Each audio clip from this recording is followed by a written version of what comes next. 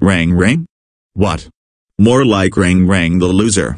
Oh my god.